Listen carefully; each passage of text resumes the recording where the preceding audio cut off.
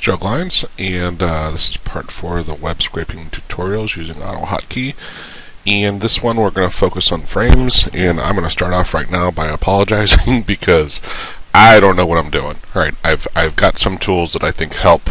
Um, this is one where I'd say I know I'm going to say stuff wrong. I I know there's better ways to do this, but uh, man, whenever you run into these, you'll see what a headache um, when you try it yourself that, uh, that they can be.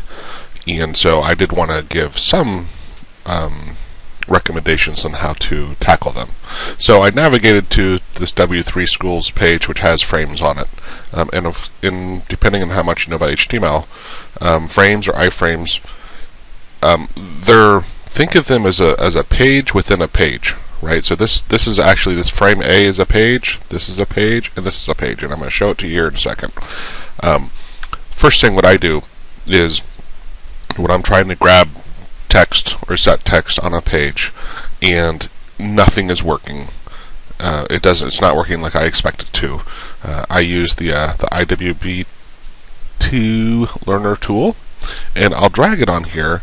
And anytime you see this um, where it says iframe, iframe one, iframe two, um, first start crying, and two is uh, realize you have a much more difficult task ahead of you uh, because these are really not on um, how do I phrase this correctly? These are these are pages that are, are literally elsewhere, and you try to um, grab it, but unfortunately, even though it looks like it's on this page, it isn't.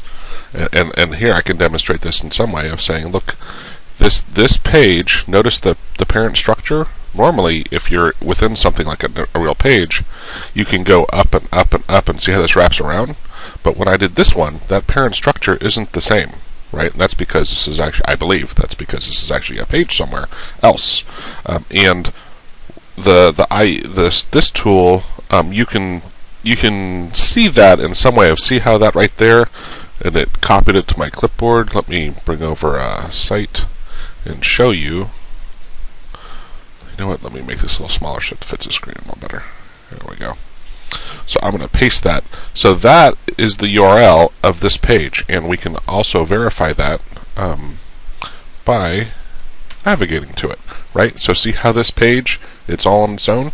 And, and this is one of my actual recommendations of, hey, if if for whatever reason you can navigate to this this URL instead of the other one, you know, you, what you do is you get that URL, um, using AutoHotkey and then navigate to it and just do your web scraping from this page. And things are so so much easier. Because now look what happens when I when I do this right? There's no frames mentioned here and you can you can use all the other methods I showed you before on how to grab this. Um, and as a review also uh, excuse the, the cannon fire. There's some thunderstorms going on here. Um, as review also I'd recommend studying this uh, this image from uh, the I don't even know how to say that website, but uh, you can link to it from the jethrow tutorial. And here here's part of the reason why also, right? Normally we've been playing where we come down, we get the current page, we get document, we scroll down document to forms more often than not, and then these are elements off the form that we're grabbing from, right? Um, and sometimes links. I've played with anchors a little on images, but um, this is really under document. This is what we're doing, right? Notice where frames are, right? Frames are up here. So basically what we have to do is we have to navigate through the DOM and go up, go up, and then go over to frames. And after we go to frames, then we can get the uh, we can go back and what we're going to do is we're going to see that the document is also under frames for that other window. Once you navigate to that window, then this all becomes the same path again. It's just that you first have to, from one page, go up, go to the frames, and then go back, and then you can start going down it. So, let's start showing you um, some of the tools I've built into my script to help with this. So we can get rid of that. Uh, so, let's see. Oh, the other I was going to mention this this tool in case you just want to see it a little easier. This IE HTML Element Spy you can drag uh, and notice right here. So this is actually there's as the the learner tool or the the IWB tool. This tool uh, uh, shows you right that there are multiple frames. There's actually this frame is within this frame on this page, which this is the part I have some problems with because these numbers to me are not intuitive and don't make sense. Uh, but um, and, and notice there's names and ID here. We'll get back to that in a little bit. Um, however, the one thing I do like about this IE HTML Element Spy tool, it's a free program you can download, is that uh, it makes it very easy to see that URL, and here's the parent URL, right? Both of these are the two frames that I just showed you from the other tool. Uh, it just shows them a little simpler. So here, you can see that one, that one. Well, you know what? I didn't notice. Let me see. Notice as I go between these two and this third one, this the uh, the ver- this frame doesn't change, right? That's because all three of these are subframes of this one, right? So, bam, bam, bam. But you see the URLs from each of these are changing, and that's just a reminder that these are actually different web pages being displayed in this quote-unquote frame, right? All right, so that's a tool. The other tool, which uh, you may or not be used to using, is if you hit F12 and IE, it'll bring up Oh, that's perfect. Let's see what happens here. Uh, interesting. Alright, let's try that again. F12. Um, it brings up, um, IE has built-in developer tools. And let me see if I can do this right. I can click here and show sections. Um, and now I'm going to click here and you know what let me the one thing I did like about this tool is it made it a little easier to see see these three frames here. It's showing you here these are all all three, and these are subframes of this one and this frame container. Uh, but it kind of, for me, kind of helped me realize also that, that that there are different frames um, within another frame, and these are all. If I could do it better, I could probably show you how this is all under a different structure than the regular page, but um, I'm not too familiar with this tool. Okay, so, getting stuff from this page. So first off, what I do, the second, the second that I see that there are these, um, hopefully, like this case, this this first top frame has a name and an ID. Right? Often it doesn't have either, uh, and and the syntax for that's a little bit different. Uh, but uh, again, having them named makes it a little easier, more consistent, um, because they will usually stay the same. So in here, I've added under advanced. So this is if your frames are one level versus multi-level. Right under under one level, I have the get length of frames. So here, I'm going to save this, reload it, and run it. And this is telling me, hey, off of the main um, frames, there's five. Right? There's there's actually five uh, at this first level because I just put it right here. Right?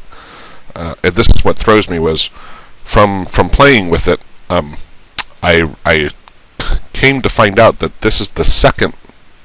I'm sorry, it's the third. It's it's from the number it's 0.2, but it, since it's, I believe it starts at zero, it's 0, 1, 2, so it's the third frame. Um, that's what this one is, and then these are all subframes under the second level. However, for the first examples here, we're going to keep it simple. Let me comment this out, and let's say, oh, wrong menu. You know what? Let me. I'm going to exit out of that my other launcher menu, just so I don't confuse myself. All right. Advanced one. Well, we don't want one level. We need multi-level in this case. So frame has a name or ID. Yes, it does. Okay, so we're going to say that. Um, the name on this first one is view. And here is where I'm going to say this this is the uh, the subframe value, and um, notice I'm grabbing. This is going to get me the URL of it, just so I make sure I understand where I am. So I'm going to save it, reload it, run it, and here's that frame A tag that we saw with the uh, HTML element tool. Um, so I know I'm on the right page there. I'm getting the right one. Now watch what happens if I change this to one. Right now it gave me B, and if I change it to 2, because there's zero index, right, I'm on the third, so ABC. Alright, so that shows you you're on the right page um, to make sure you're grabbing, you know, which which one of these you're on, um, and then from that, well, um, from that you can then you can start grabbing the actual text. So it's frames multi-level and let's say we're going to get some text. So I'm going to put back in here, view. We'll take the first one. Now, now here, um, oh, it looks like there's. Let's see. Whoa, come on. Oh, you know what? Let me close the. Uh, that is closed. Oh, I know. I'm not at. I'm. I'm. I need to zoom back to. That's the only thing about that. Uh, this IWB2 learner tool. You got to be at 100% for it to render correctly. So here's a body, right? See this body tag zero, right? So, um, and that was why I had I played with this earlier. This is my demo that I used. So I'm going to say, let me grab. It's going to grab the inner text of the body tag zero after navigating to this first. How do I say that right? To the subframe, and then the very first one of the sub of the the second level. So this level right? So now I'm going to save it, reload it.